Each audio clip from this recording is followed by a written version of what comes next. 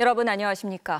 윤석열 대통령이 기시다 후미오 일본 총리와 만나 최근 불거진 이른바 라인 야후 사태를 화제에 올리면서 우리 정부 입장을 전했습니다. 기시다 총리도 행정 지도는 보안 점검 차원이었다며 네이버가 일본에서 퇴출될 거라는 우리 국민들 우려를 잠재웠습니다.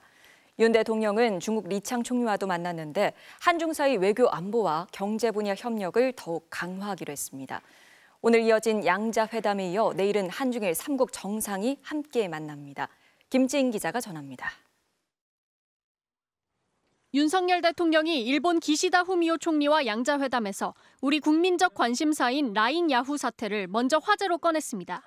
대통령실 고위 관계자는 윤 대통령이 일본의 행정 지도가 네이버에 대한 지분 매각 요구는 아닌 것으로 이해하고 있다며 불필요한 외교 현안이 되지 않도록 잘 관리해 나갈 필요가 있다고 말했다고 전했습니다.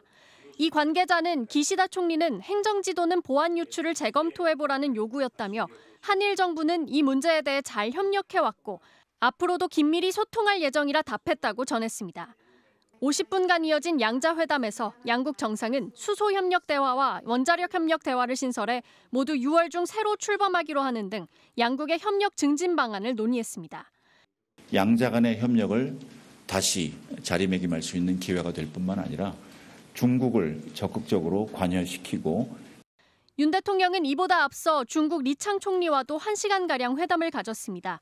한중 정상은 고위급 대화 분야에서 한중 외교 안보 대화를 신설해 6월 중순 외교부 차관과 국방부 국장급 고위 관리가 참여하는 2 플러스 2 첫 회의를 열기로 했고 또 문화와 관광을 포함한 한중 FTA 2단계 협상을 재개하는 데 뜻을 모았습니다. 저는 한중 양국이 우리의 양자 관계뿐만이 아니라 국제 사회의 평화와 번영을 위해 긴밀하게 협력해야 한다고 생각합니다. 다만 중국 시진핑 국가주석의 방한 문제나 윤 대통령의 방중 문제에 대해선 구체적 논의는 없었던 것으로 전해졌습니다. 한중일 3국 정상은 내일 오전 대통령실에서 다시 만나 4년 5개월 만에 제9차 한중일 정상회의를 갖고 공동선언문을 발표할 계획입니다. MBC 뉴스 김지인입니다.